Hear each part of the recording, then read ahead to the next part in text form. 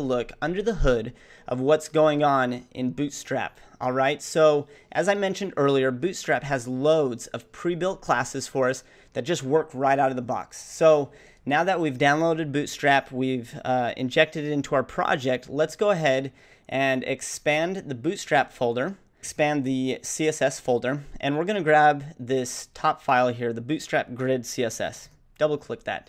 All right, and in here you're gonna see loads of pre-built classes and all these media queries uh, working for us. It's already built a container class here for an example and added styling properties to it. And check this out. It's already got all these media queries already built for us with different screen sizes here. You see that? And it has all the padding and everything added to it.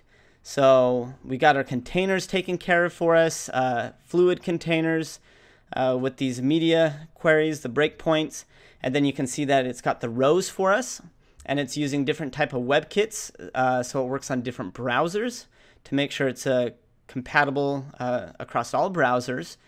And if we come down here, uh, check this out. Check out all these columns here. This is awesome. All right, you can see that it takes us through column 1 through 12, and it's already added the styling properties to it. And you can also see not only is it working with just regular columns, um, Bootstrap uses something uh, with different size columns for different size screens. So you can see that it's using small for the small screens. We've got medium in here, the large and extra large displays. And it's got all the media queries built for us.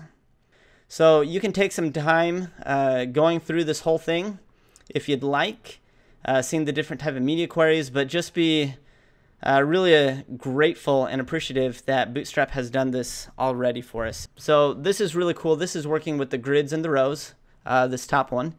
And then if we go ahead and double click on just the regular CSS file here, the Bootstrap CSS, you can see that it's taken some of our top level uh, elements here, like the body, and added the styling to it. It's taken care of all the font sizes for us.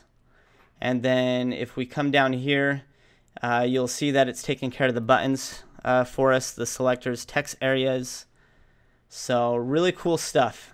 It's cool. Bootstrap has some of their own uh, classes that they've created for us uh, that we can just use and throw into our HTML. So that's an under the hood look of Bootstrap and some of the things going on. And that's that's a wrap. Let's move on.